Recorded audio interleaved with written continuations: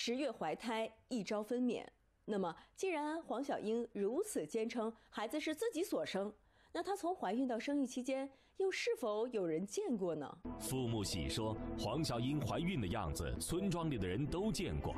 就是十一月底即将临产的时候，黄小英还在石埠老家住过。刚我跟他玩就交不回去，就到火车上，见过的不方便，我方便，为做啥不一样的见完我的是为咋咋地。傅木喜说，当时在家人的劝说下，黄小英同意在当地生孩子。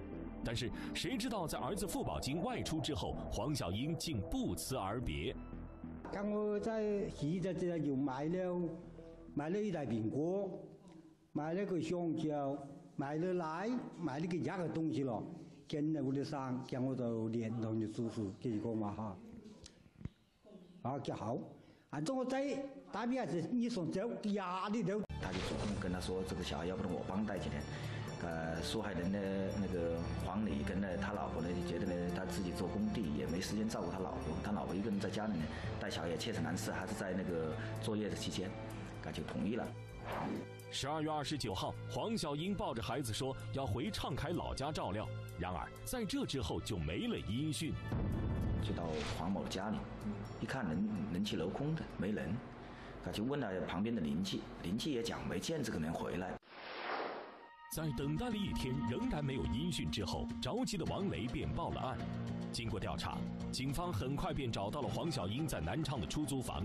据房东介绍，在两天前，黄小英的确带来了一个男婴，并且自称是他生的。我们把照片提供给他看，他确实就是他。他说他儿子刚生下来的儿子，呃，这个那个他上来喜糖，就跟这个住同租同租的人，呃，上来喜糖，打了烟花爆竹。他说好像人应该回回南昌那个靠新建安义那一带边过那边过去了，他好像是那边的。